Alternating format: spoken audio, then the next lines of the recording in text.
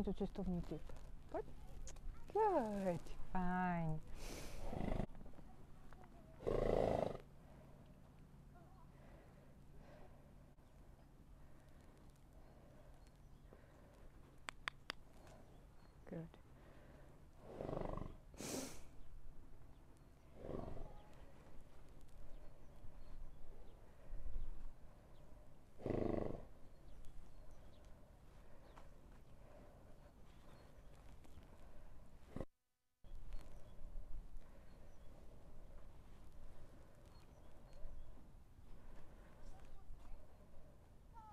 Jak nad tím přemýšlí? Ty jsi taky zlatý koník.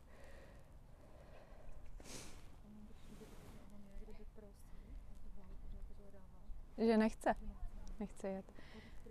Ale to je právě to, že když se kuň nakládá, jenom když se někam jede, tak to je to blbý, jo. Prostě nakla- na, párkrát toho koně naložit a nikam nejet je vlastně to nejlepší.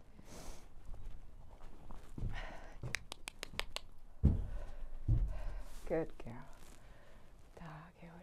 Tak, je hodně. Super.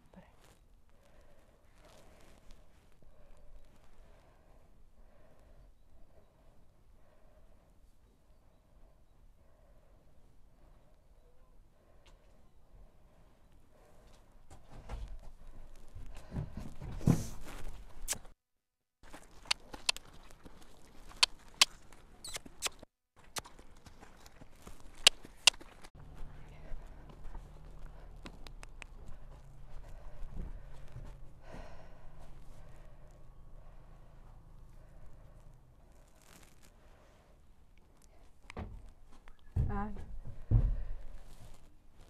Áno. Poď kroka. Áno. Super. Good girl. Ty si láska. Hodně. Fajn.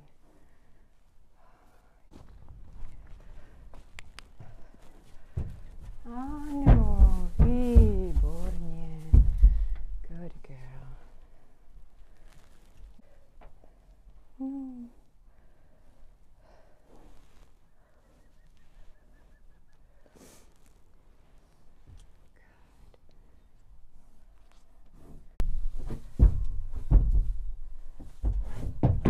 Pomalinku, tak je hodně.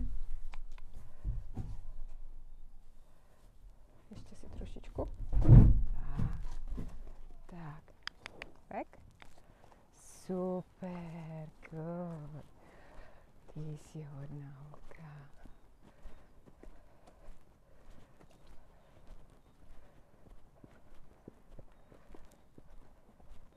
To bylo dneska celé cestování. No, to je všechno. Dneska jsme byli nakládat uh, kobylku z Leského Norika a uh, šlo to proto, protože paní majitelka ji měla hezky připravenou, měla už nějaké základy práce ze země a tím pádem jsme si to mohli dovolit už dneska vyzkoušet a nakonec se to i hezky povedlo, takže kobylka moc šikovná. To, eh, tady tu rekapitulaci dělám hlavně proto, abych všem ostatním řekla, že kteří mají zájem jakoby eh, cokoliv u svého koně zlepšit, tak všechno vlastně vám vyřeší dobrá práce ze země. Ten horsemanship je hrozně důležitý.